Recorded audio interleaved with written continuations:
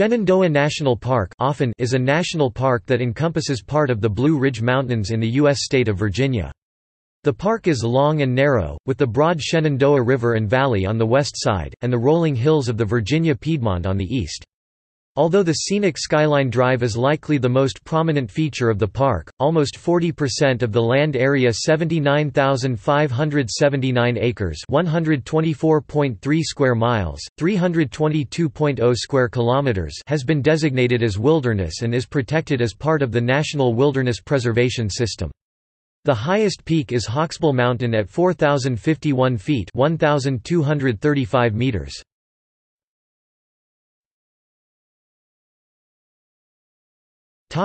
Geography The park encompasses parts of eight counties. On the west side of Skyline Drive they are, from northeast to southwest, Warren, Page, Rockingham, and Augusta counties. On the east side of Skyline Drive they are Rappahannock, Madison, Greene, and Albemarle counties. The park stretches for 105 miles 169 kilometers along Skyline Drive from near the town of Front Royal in the northeast to near the city of Waynesboro in the southwest. The park headquarters are located in Luray.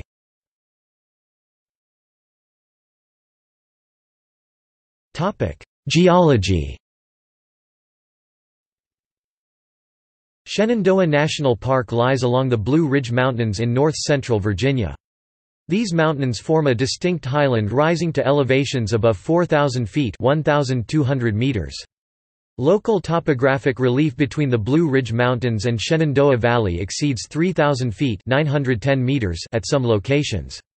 The crest of the range divides the Shenandoah River drainage basin, part of the Potomac River drainage, on the west side, from the James and Rappahannock River drainage basins on the east side. Some of the rocks exposed in the park date to over 1 billion years in age, making them among the oldest in Virginia.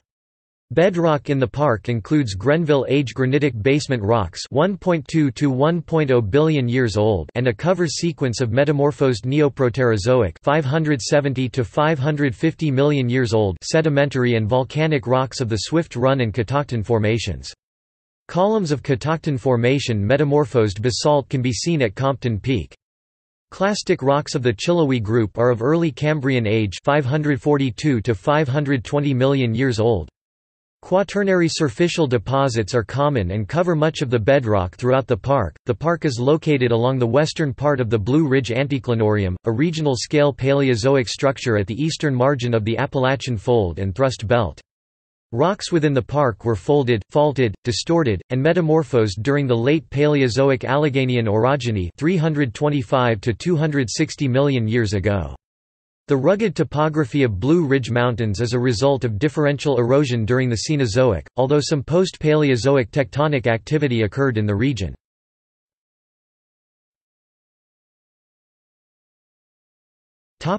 History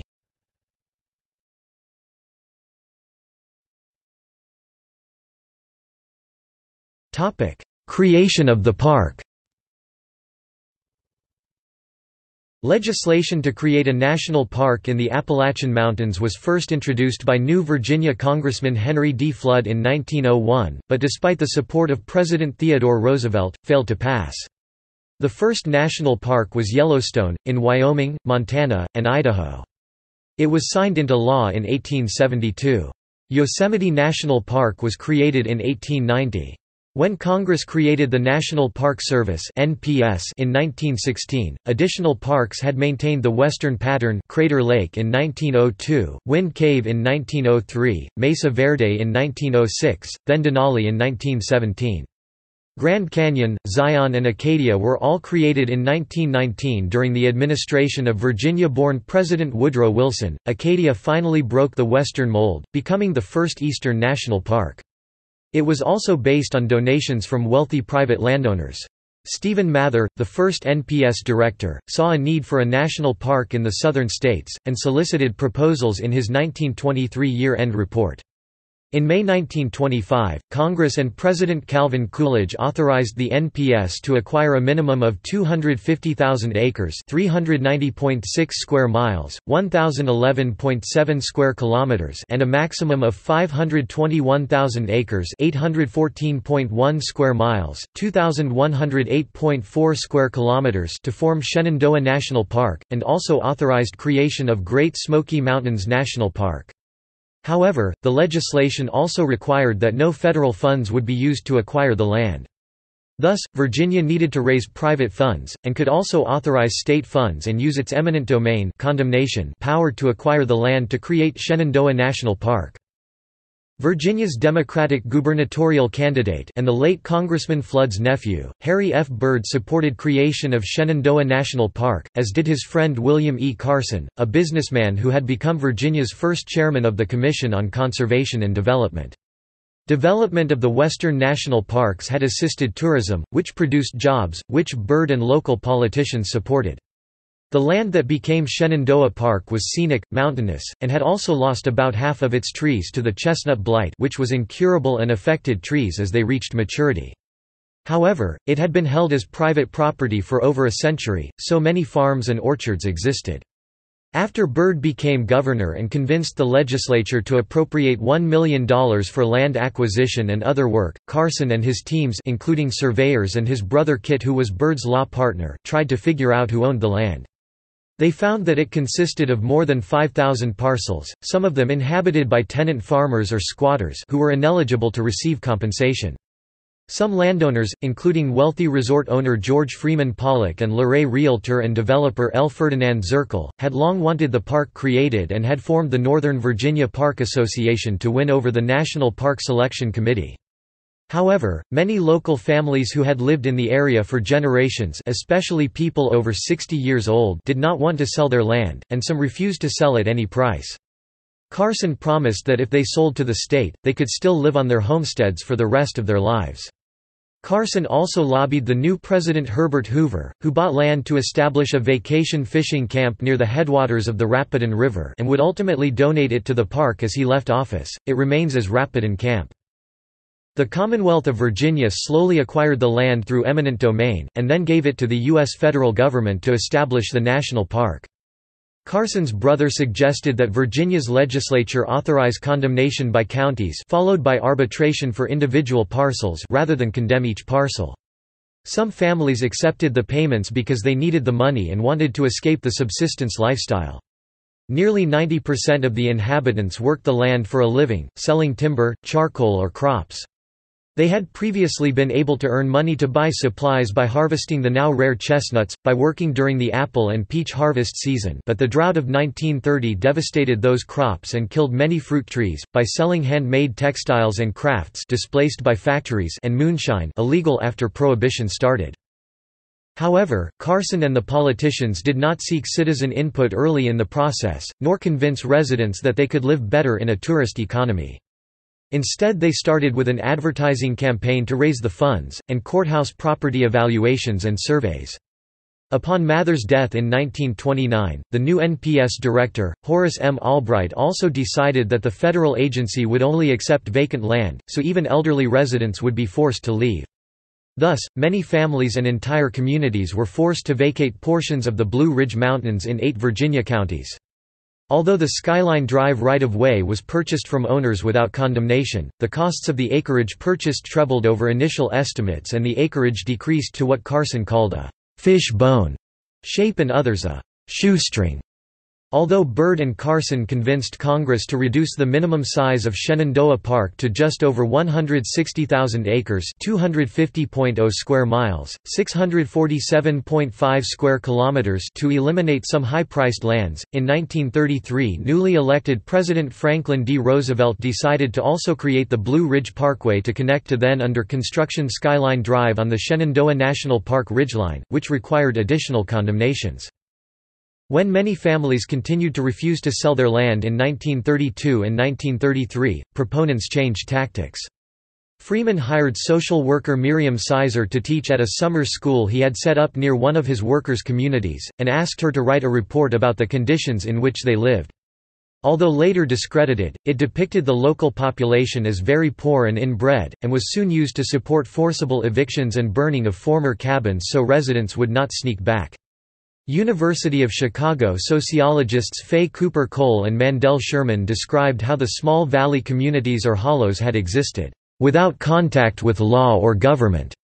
For centuries, which some analogized to a popular comic strip Lil Abner and his fictional community Dogpatch. In 1933, Sherman and journalist Thomas Henry published Hollow Folk drawing pitying eyes to local conditions and hillbillies. As in many rural areas of the time, most remote homesteads in the Shenandoah lacked electricity and often running water, as well as access to schools and health facilities during many months. However, Hoover had hired experienced rural teacher Christine Vest to teach near his summer home and who believed the other reports exaggerated, as did Episcopal missionary teachers in other Blue Ridge areas. Carson had had ambitions to become governor in 1929 and 1933, but Byrd instead selected George C. Peery of the state's southwest corner to succeed Easterner Pollard.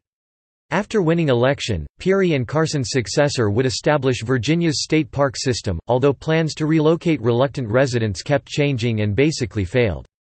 Carson had hoped to head that new state agency, but was not selected because of his growing differences with Byrd, over fees owed his brother and especially over the evictions that began in late 1933 against his advice but pursuant to new federal policies and that garnered much negative publicity. Most of the reluctant families came from the park's central counties Madison, Page, and Rappahannock, not the northern counties nearest Byrd's and Carson's bases, nor from the southern end where residents could see tourism's benefits at Thomas Jefferson's Monticello since the 1920s, as well as the jobs available in the Shenandoah and New Blue Ridge projects. In 1931 and 1932, residents were allowed to petition the state agency to stay another year to gather crops, etc. However, some refused to cooperate to any extent, others wanted to continue to use resources now protected including timber or homes and gardens vacated by others, and many found the permit process arbitrary. Businessman Robert H. Via filed suit against the condemnations in 1934 but did not prevail and ended up moving to Pennsylvania and never cashed his condemnation check. Carson announced his resignation from his unpaid job effective in December 1934. As one of his final acts, Carson wrote the new NPS director, Arno B. Cammerer, urging that 60 people over 60 years old whose plots were far and not visible from the new Skyline Drive not be evicted. When evictions kept creating negative publicity in 1935, photographer Arthur Rothstein coordinated with the Hollow Folk authors and then went to document the conditions they claimed. Creation of the park had immediate benefits to some Virginians. During the Great Depression, many young men received training and jobs through the Civilian Conservation Corps. The first CCC camp in Virginia was established in the George Washington National Forest near Luray, and Governor Pollard quickly filled his initial quota of 5,000 workers. About 1,000 men and boys worked on Skyline Drive, and about 100,000 worked in Virginia during the agency's existence. In Shenandoah Park, CCC crews removed many of the dead chestnut trees whose skeletons marred views in the new park, as well as constructed trails and facilities. Tourism revenues also skyrocketed. On the other hand, CCC crews were also assigned to burn and destroy some cabins in the park, to prevent residents from coming back. Also, U.S. Secretary of the Interior Harold Ickes who had jurisdiction over the NPS and partial jurisdiction over the CCC, tried to use his authority to force Byrd to cooperate on other New Deal projects. Shenandoah National Park was finally established on December 26, 1935, and soon construction began on the Blue Ridge Parkway that Byrd wanted. President Franklin Delano Roosevelt formally opened Shenandoah National Park on July 3, 1936. Eventually, about 40 people on the Ickes list were allowed to live out their lives on land that became the park. One of them was George Freeman Pollock, whose residence Killahevlin was later listed on the National Register, and whose Skyland Resort reopened under a concessionaire in 1937. Carson also donated significant land. A mountain in the park is now named in his honor and signs acknowledge his contributions. The last grandmothered resident was Annie Lee Bradley Schenck. NPS employees had watched and cared for her since 1950, she died in 1979 at age 92. Most others left quietly. 85-year-old Hezekiah Lamb explained, I ain't so crazy about leavin' these hills but I never believed in bein' agan against the government. I signed everything they asked me.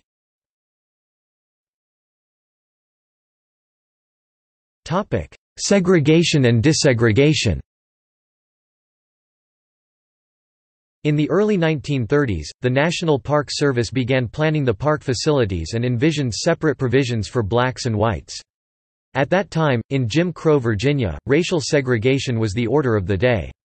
In its transfer of the parkland to the federal government, Virginia initially attempted to ban African Americans entirely from the park, but settled for enforcing its segregation laws in the park's facilities. By the 1930s, there were several concessions operated by private firms within the area that would become the park, some going back to the late 19th century.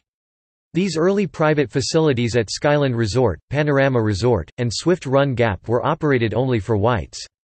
By 1937, the Park Service accepted a bid from Virginia Sky Line Company to take over the existing facilities and add new lodges, cabins, and other amenities, including Big Meadows Lodge. Under their plan, all the sites in the parks, save one, were for whites only. Their plan included a separate facility for African Americans at Lewis Mountain—a picnic ground, a smaller lodge, cabins and a campground. The site opened in 1939, and it was substantially inferior to the other park facilities. By then, however, the Interior Department was increasingly anxious to eliminate segregation from all parks. Pinnacle's Picnic Ground was selected to be the initial integrated site in the Shenandoah, but Virginia Sky Line Company continued to balk, and distributed maps showing Lewis Mountain as the only site for African Americans. During World War II, concessions closed and park usage plunged. But once the war ended, in December 1945, the NPS mandated that all concessions in all national parks were to be desegregated. In October 1947 the dining rooms of Lewis Mountain and Panorama were integrated and by early 1950, the mandate was fully accomplished.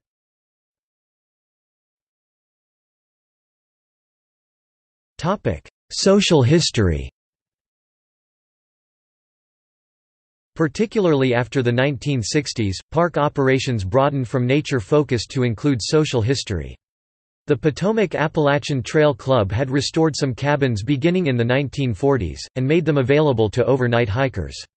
Some displaced residents and their descendants created the Children of the Shenandoah to lobby for more balanced presentations. In the 1990s, the park hired cultural resource specialists and conducted an archaeological inventory of existing structures, the Survey of Rural Mountain Settlement. Eventually, the park's new focus on cultural resources coincided with agitation from a descendants organization known as the Children of Shenandoah, which resulted in the removal of questionable interpretive displays. Hikes and tours that explained the social history of the displaced mountain people began.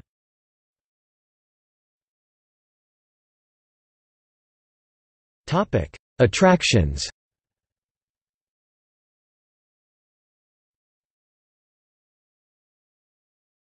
Topic: Skyline Drive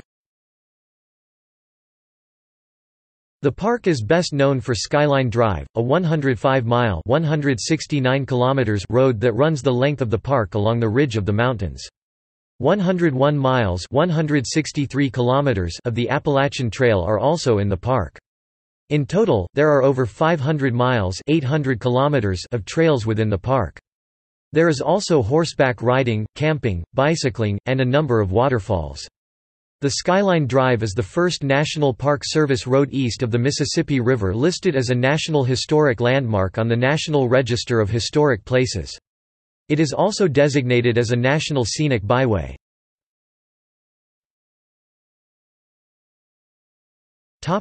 Backcountry camping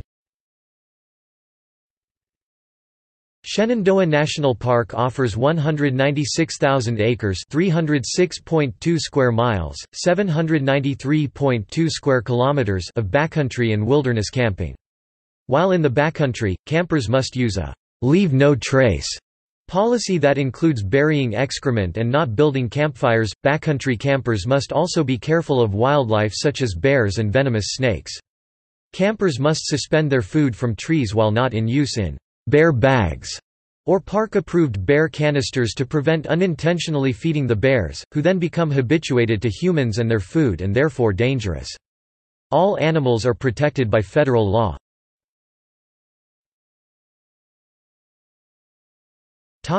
Lodging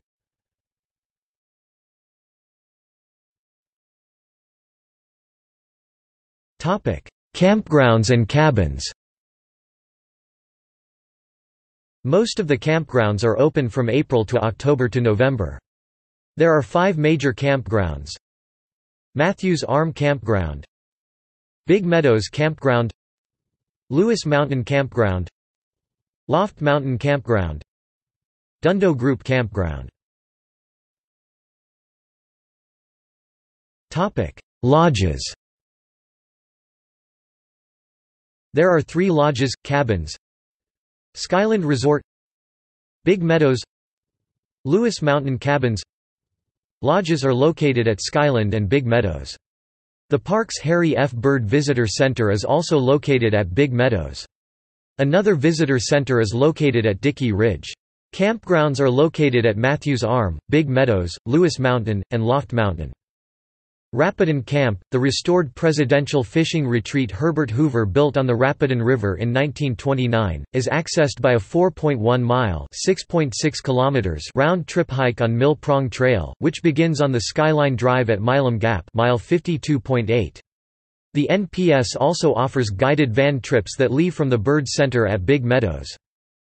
Shenandoah National Park is one of the most dog-friendly in the national park system. The campgrounds all allow dogs, and dogs are allowed on almost all of the trails including the Appalachian Trail, if kept on leash 6 feet or shorter. Dogs are not allowed on 10 trails, Fox Hollow Trail, Stony Man Trail, Limberlost Trail, Post Office Junction to Old Rag Shelter, Old Rag Ridge Trail, Old Rag Saddle Trail, Dark Hollow Falls Trail, Story of the Forest Trail, Bearfence Mountain Trail, Frazier Discovery Trail. These 10 trails fall short of a total of 20 miles of the 500 miles of trails of the Shenandoah National Park. Streams and rivers in the park are very popular with fly fishermen for native brook trout.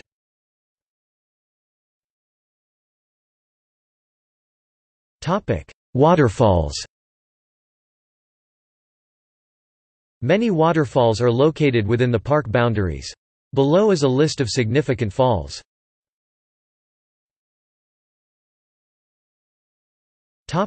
Hiking trails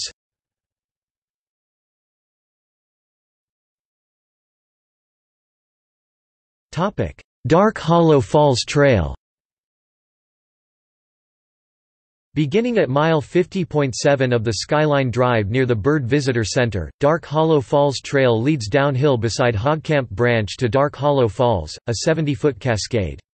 The distance from the trailhead to the base of the falls is 0.7 mile, although the trail continues beyond that point, crossing the creek and connecting with the Rose River Fire Road. Various fauna can be viewed along the trail, including occasional sightings of black bear and timber rattlesnake. While the trail is relatively short, parts of it are steep and may prove challenging to some visitors. There is no view from the brink of the falls, and slippery rocks make it inadvisable to leave the trail.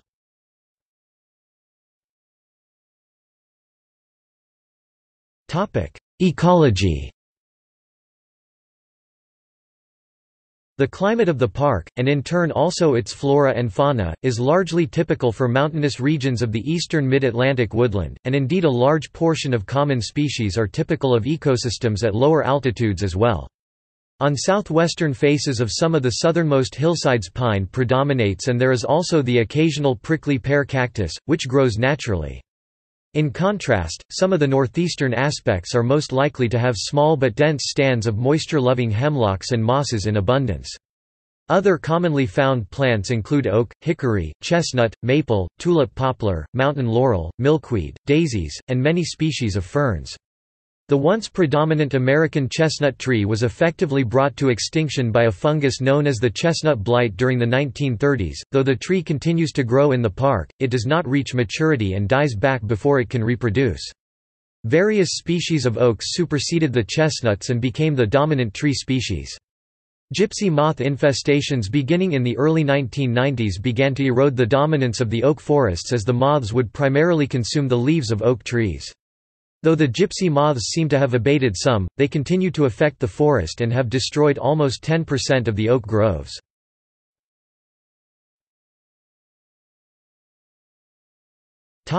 Wildlife Mammals include black bear, coyote, striped skunk, spotted skunk, raccoon, beaver, river otter, opossum, woodchuck, two species of foxes, white-tailed deer, and eastern cottontail rabbit. Though unsubstantiated, there have been some reported sightings of cougar in remote areas of the park. Over 200 species of birds make their home in the park for at least part of the year. About 30 live in the park year-round, including the barred owl, Carolina chickadee, red-tailed hawk, and wild turkey.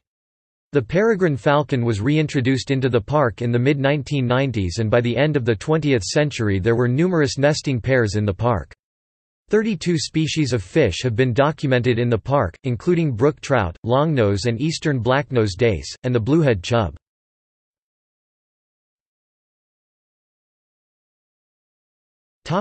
Ranger programs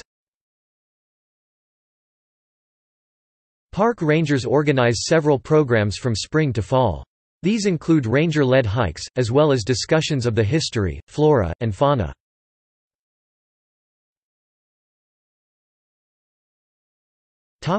Artist in Residence program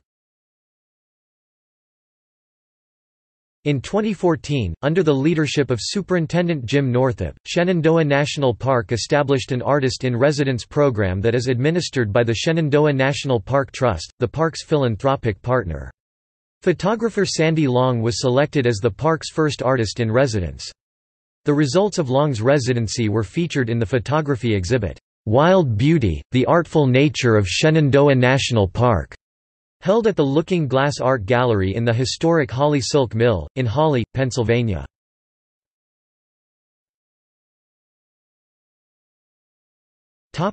See also. List of amphibians of Shenandoah National Park. List of national parks of the United States.